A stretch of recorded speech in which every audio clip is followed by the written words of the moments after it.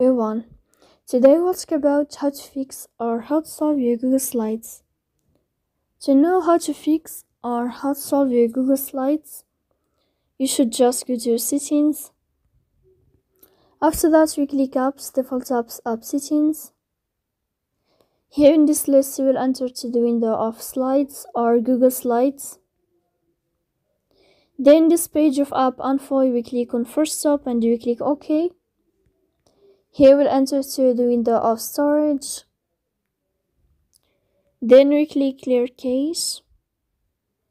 Don't click clear data because that can cause you errors in your app. In the end, you can turn off your Wi-Fi and you can wait a moment to turn on your Wi-Fi again. So please don't forget to support us by like and uh, subscribe.